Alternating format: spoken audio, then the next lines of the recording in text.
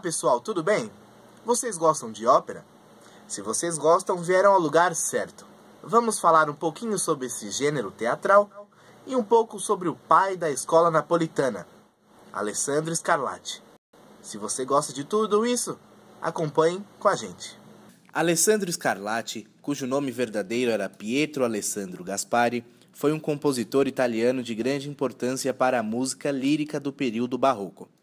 Seu trabalho foi fundamental para o desenvolvimento da ópera séria e da ópera cômica de seu tempo.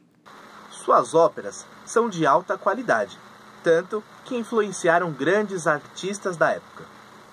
As aberturas de suas óperas eram classificadas com três movimentos: rápido, lento e rápido.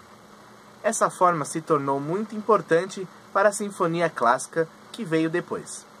Alessandro Scarlatti foi um compositor de extraordinário talento criativo. Sua obra compreende nada menos que 115 óperas, 150 oratórios e mais de 500 cantatas, além de composições instrumentais. A música de Alessandro Scarlatti é um elo importante entre os estilos vocais do início do barroco italiano, do século XVII, cujo centro foram as cidades de Florença, Veneza, Roma e a escola clássica, cujo apogeu se dá nas obras mais tardias de Mozart. Suas primeiras óperas mantêm as antigas cadências nos recitativos e uma variedade considerável de formas construídas de maneira cristalina, em suas charmosas pequenas áreas, algumas vezes acompanhadas pelo quarteto de cordas e tratadas com cuidadosa elaboração, outras vezes acompanhadas apenas pelo cravo. Por volta de 1686, Scarlatti criou definitivamente a forma abertura italiana e abandonou o ostinato e a área na forma binária, em favor da chamada área da capo. Suas melhores óperas desse período são La Rosaura e Pirro e Demétrio, que possui as áreas Rugiadonese, Odorose e Bentista.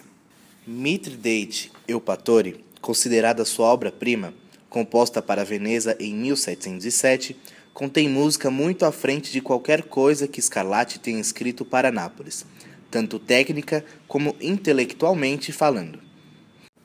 As últimas óperas napolitanas são pomposas e eficientes ao invés de profundamente emocionais.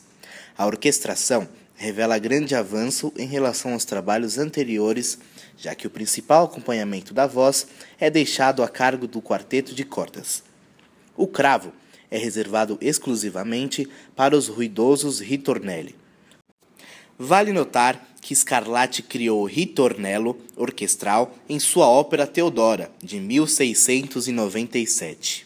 Seu último conjunto de óperas, composto para Roma, mostra o profundo sentimento poético, um estilo amplo e nobre, um forte senso dramático, especialmente nos recitativos acompanhados, um recurso que ele próprio foi utilizar já em 1686, em um estilo de orquestração muito mais moderno, com as trompas aparecendo pela primeira vez e sendo tratadas de modo a produzir um efeito eletrizante.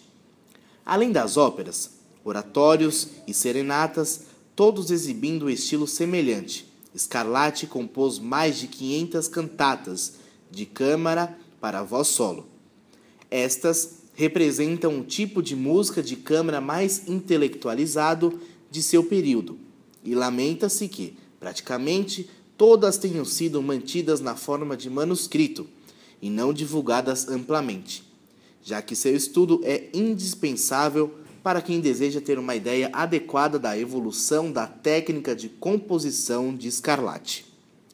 As poucas missas restantes e outras músicas sacras de, de sua autoria são comparativamente pouco importantes, com exceção da Grande Missa de Santa Cecília, que foi uma das primeiras tentativas no estilo que atingiu seu ponto máximo nas missas de Johann Sebastian Bach e Beethoven. Sua música instrumental, embora não sem interesse, é curiosamente antiquada quando comparada à sua obra vocal. Por isso é hoje, pessoal. Espero que tenham gostado de saber um pouco mais sobre ópera e sobre o pai da escola napolitana, Alessandro Scarlatti. Até mais!